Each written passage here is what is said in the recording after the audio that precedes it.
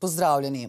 Obisk štirih državnikov v obleganem Kijevu, ki se herojsko upira ruskim poskusom osvojitve, odmeva v globalnih medijih tudi po njegovem zaključku. O obisku, ki je sicer imel neformalen značaj, sta bila na robu srečanja voditeljev držav članice Evropske unije v Versaju prejšnji teden obveščena tudi predsednica Evropske komisije Ursula von der Leyen in Evropskega sveta Charles Michel.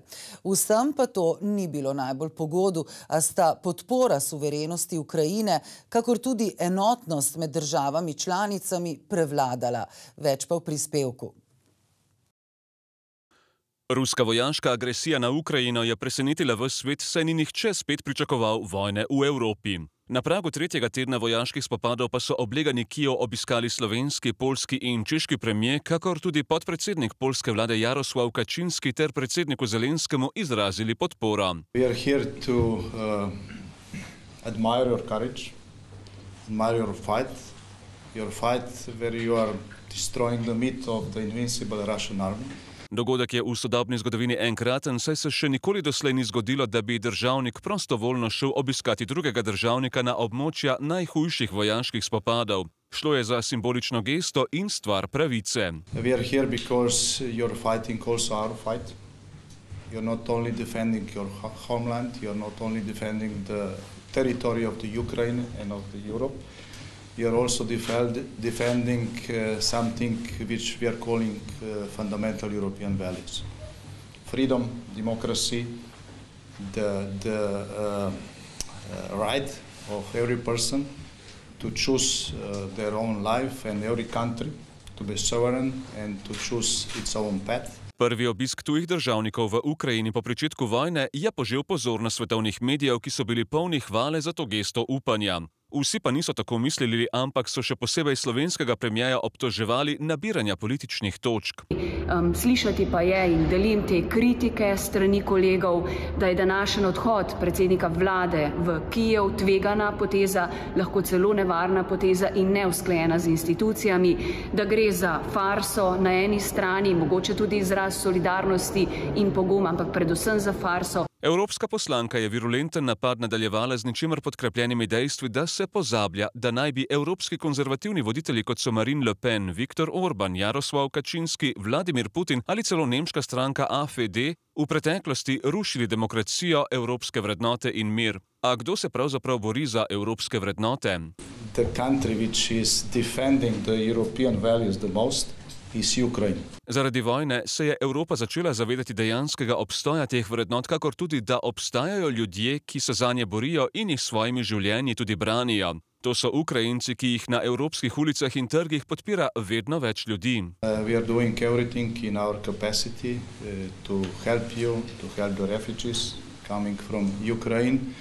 And we are totally aware that the most important thing is to help uh, Ukraine with, with weapons, defensive and offensive for Ukraine to be able to defend the land, the sea and the sky. Za obisk, ki ga je četverica kljub visoki tveganosti opravila z vlakom, pa je dal pobudo prav predsednik slovenske vlade.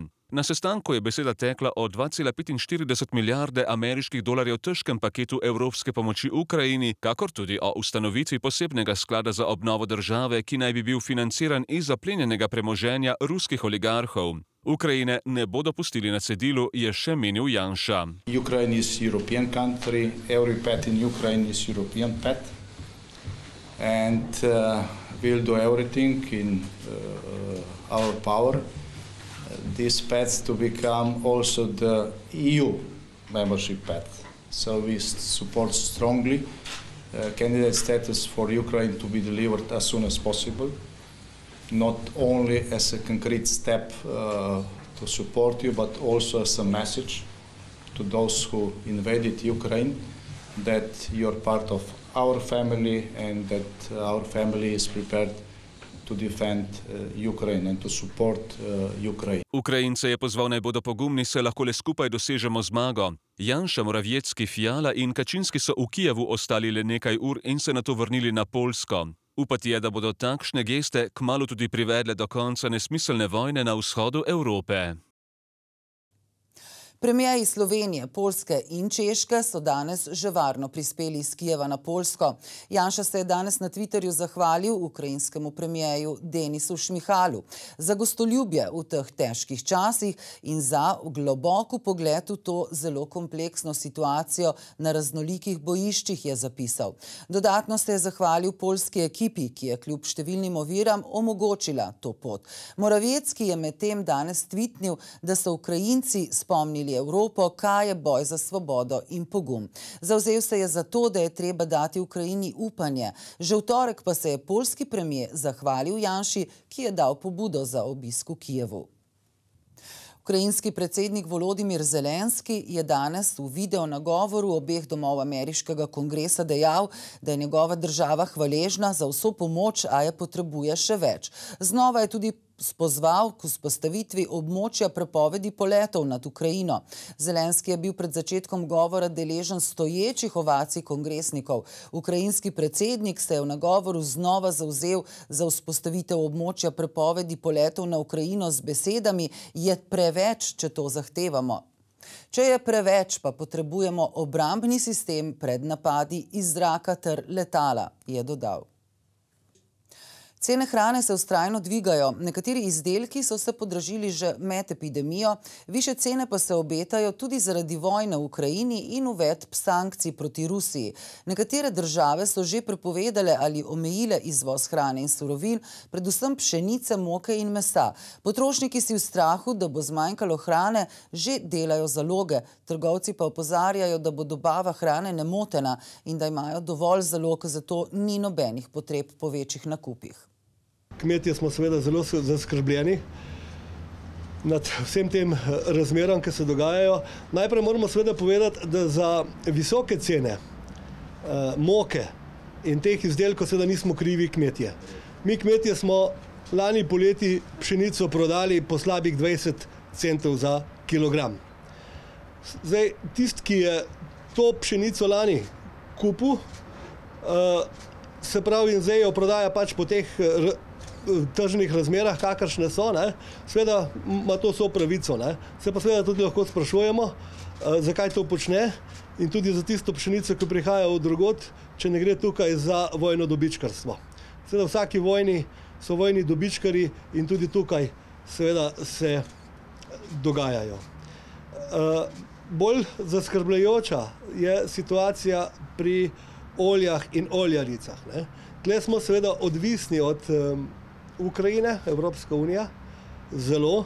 Ne vemo, ali se bo tam možna sploh spravilo, niti kakšna bo možnost letošnjega, eh, letošnje setve za, za jesen v, v Ukrajini.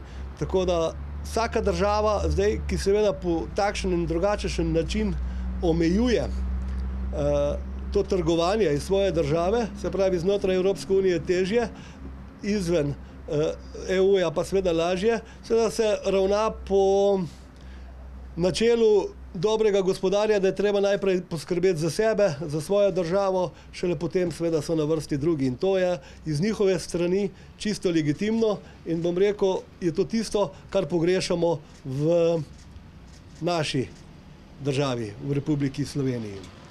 Vendar moramo pa seveda tudi pri nas takoj in zelo hitro narediti določene ukrepe, ki jih seveda lahko naredimo za izboljšanje samooskrbe in s tem seveda tudi prehranske varnosti. Kajti razlika med samooskrbo in prehransko varnostjo je ta, da prehransko varnost lahko zagotovimo z uvozom, z polnimi policami, ne? če pa do tega ne pride in če mi seveda nimamo doma svojih produktov, potem pa tudi na police nimamo uh, kaj dati. Uh, zato je seveda v Sloveniji potrebno narediti sledeče. Preučiti treba vse tiste ukrepe, ki, kmetje, ki kmete omejujejo in jim je treba dovoliti in možnost delati, možnost proizvajati hrano za na trg. Vendar, ne, če smo v COVID krizi, kmetje nosili največje breme prehranske, tega, se pravi prehranskega Eh, prehranske krize, ki je bilo, se pravi na račun znižanja odkupnih cen, seveda tega sedaj več nismo pripravljeni početi. Mi seveda zahtevamo, da imamo normalne odkupne cene, kmetijski inštitut izračuna modelne kalkulacije proizvodnih stroškov in če v tej državi obstaja ali velja zakon o minimalni plači, potem seveda je nujno potrebno tudi to, da imamo vsaj proizvodne stroške pokrite, ne pa da jih imamo na 70-80%, kakor smo jih imeli v preteklosti. Slovenski paviljon na svetovni razstavi Expo v Dubaju si je doslej ogledalo že več kot 700 tisoč obiskovalcev. Paviljon je gostil tudi več kot 180 različnih poslovno-promocijskih dogodkov. Teh se je odeležilo preko 320 slovenskih podjetij, od česar več kot 90 individualno in 230 v delegacijah. Kot poudarjajo na javni agenciji Spirit Slovenija, ki je nosilka projekta, sta do konca Expo še nekaj več kot dva tedna. Trenutno pa v paviljonu paviljonu poteka deseti od enajstih tematskih sklopov. Gre za tematski sklop kulturne in kreativne industrije. 20. marca pa se bo začel zadnji tematski sklop voda. V večjem delu Slovenije je velika požarna ogroženost v naravnem okolju. Ali bo končno zapadlo kaj dežja pa v naslednjih minutah?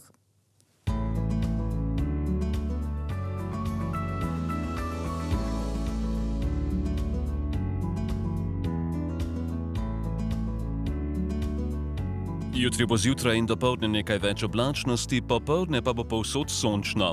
Pihal bo vzhodnik na primorskem šipka do zmerna burja. V petek bo na primorskem delno jasno, burja se bo okrepila. Drugod bo zmerno, občasno, predvsem na vzhodu pretežno oblačno, pihal bo severovzhodnik. V soboto bo bolj sončno kot v petek, veter bo nekoliko oslabel. Postopno bo spet hladneje.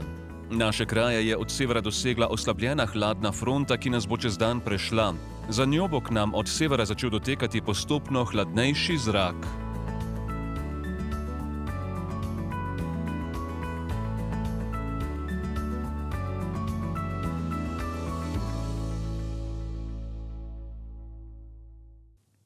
To je bilo vse. Hvala za pozornost, preživite čim bolj prijetno popovdne. Lep pozdrav!